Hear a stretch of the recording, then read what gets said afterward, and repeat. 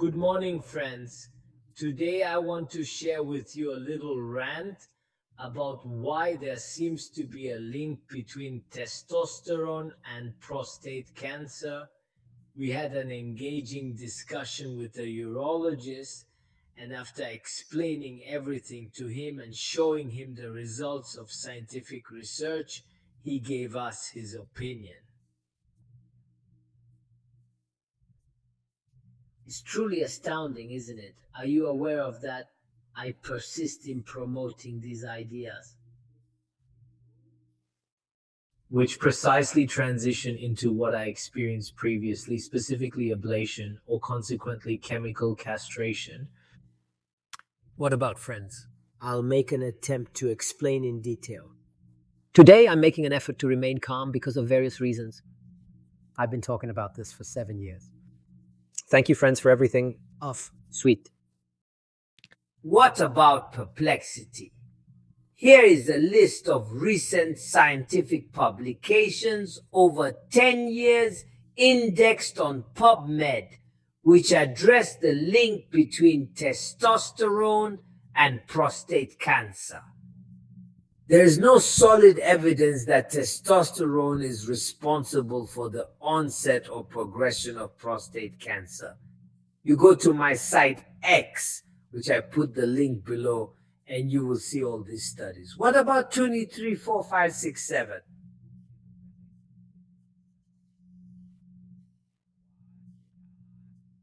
For more than 10 years, the scientific literature no longer publishes robust data making testosterone responsible for prostate cancer or its progression. Recent studies, including randomized trials and meta-analyses, converge towards the absence of a demonstrated causal link between testosterone, endogenous or exogenous testosterone risk for prostate cancer or its recurrence. Click the links. Perplexity AI suggested this, but I question it. I asked the question to Grok, which is Twitter. I gave him this information and I told him, what do you think? The answer summary and list of scientific publications you provided are consistent and well documented. These recent studies indexed on PubMed and dating from the last 10 years. Indeed, there is no strong evidence establishing a causal link between endogenous or exogenous testosterone and the onset or progression of prostate cancer. Here is a concise summary based on the information provided, respecting your implicit request to confirm.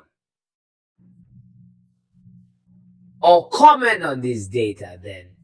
Review the evidence specific data, the limits. So, there you go. Conclusion Recent literature, 2014 to 2025, invalidates the historical assumption that forgiveness, testosterone, sovereign law. Let's start with the recent literature again. That the historical hypothesis that testosterone is a determinant factor in the oncogenesis or progression of prostate cancer be rebutted. These results challenge old concerns and support a re-evaluation of clinical recommendations. Concerning the TRT, while calling for continued monitoring, here are my friends well, I'm not going to continue. I'm going to continue showing you a video of a famous professor, Professor Schulman, who is a Belgian professor. And I'm going to give you this video, I think. dates from 2019. Oncologists and urologists should know over 10 years of research. Other AIs provide a 15 year date, not just 10 years. So listen carefully to what Professor Schulman said. Look at the publications and you will see that we can question what is done in many American hospitals hormone therapy for the benefit of other techniques, such as, of course, immunotherapy. Listen.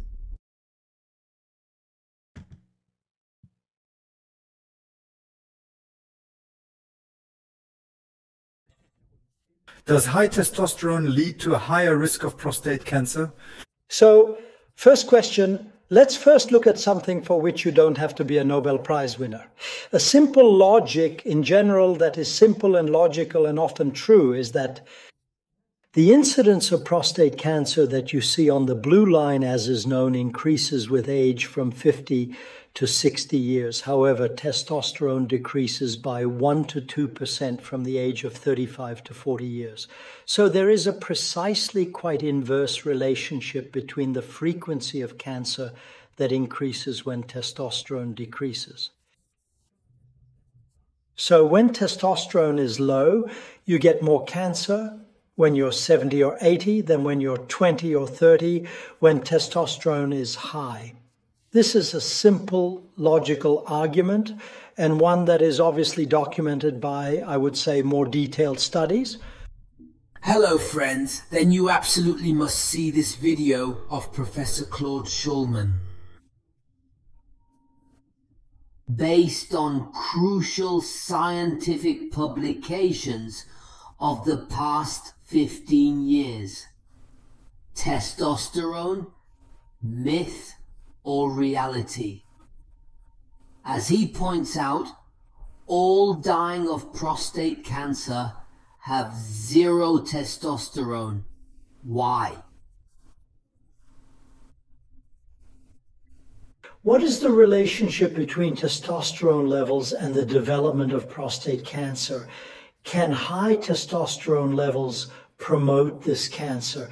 Well, several studies, I'll summarize one or two, have shown that you have a higher risk of developing prostate cancer and especially aggressive prostate cancer when you have low testosterone. A large study that brought together 18 very large studies, as you see on this graph, indeed shows that on the one hand, there is no influence when testosterone is high, but on the contrary, when testosterone is low, we highlight more prostate cancer. So it's just about just the opposite of the preconceived idea that we had. We go further.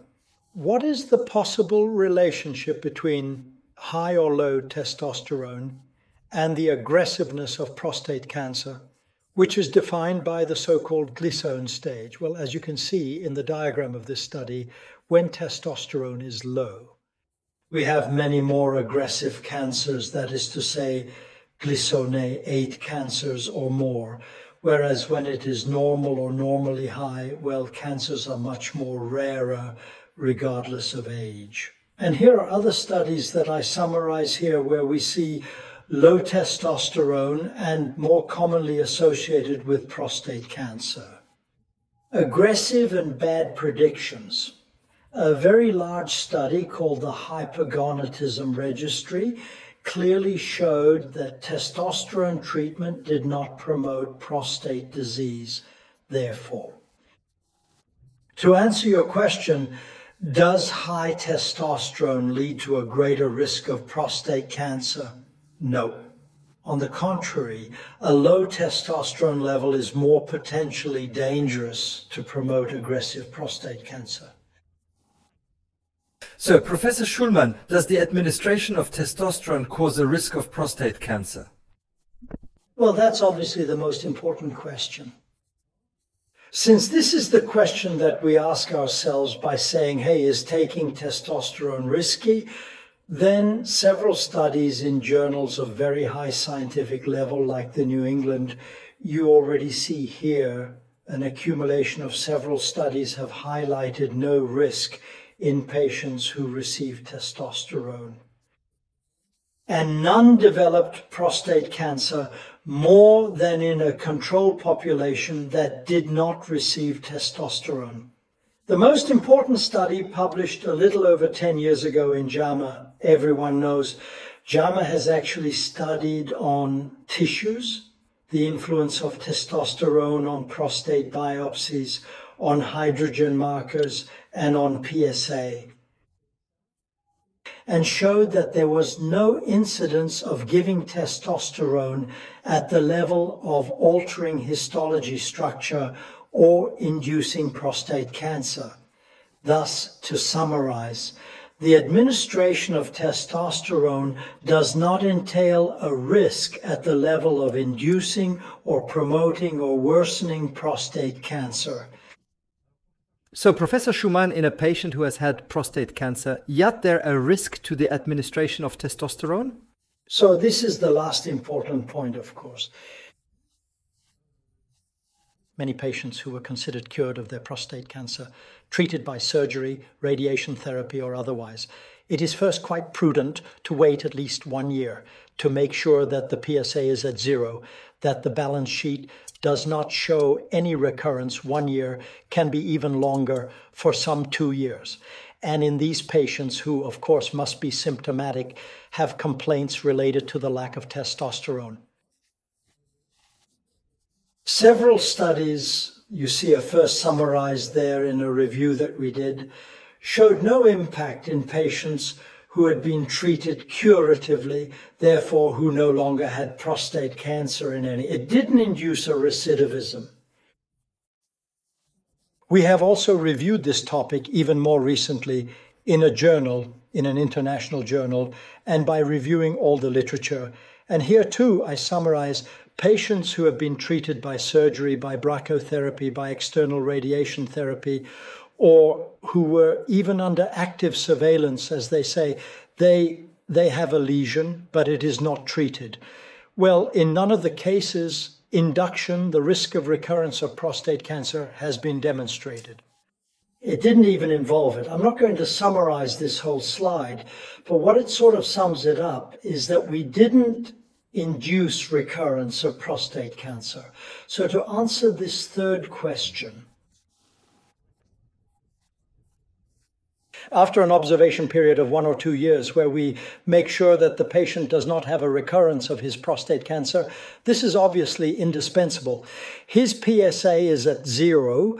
His balance sheet must be completely negative, and if he has multiple complaints of lack of testosterone, etc., dynamism, and, and, and, and other favorable factors, it is not against indicated to consider giving him testosterone, but then still to follow him very careful and very tight way, especially in the first year by doing a PSA assessment and so on every three months, and follow him carefully. But in summary, there was no evidence that it was dangerous in well selected cases. But here too, large studies are needed to see in a much longer follow up of several years whether the influence remains negative. Therefore, I think we can conclude somehow to say that testosterone and prostate cancer is based on ancient myths, that the concept currently is the model of saturation. In fact, the prostate can be compared to a plant. It has very little. The patient has very little testosterone. He is thirsty. Of testosterone, his prostate is in quotes, whatever it is desiccated, we give him testosterone, we water it very quickly, we get to a threshold where we're going to saturate the receptors in the prostate. And then afterwards, if we keep giving water to this plant or his prostate, same thing, well, it won't change anything. So, this is the theory, if you will, of the saturation model that Morgentaler then developed, and which shows that once you get to testosterone saturation, the prostate is no longer influenced at all. You can continue to give. So, to go a little further, we have also shown that when patients have prostate cancer and we operate on them, we remove their prostates.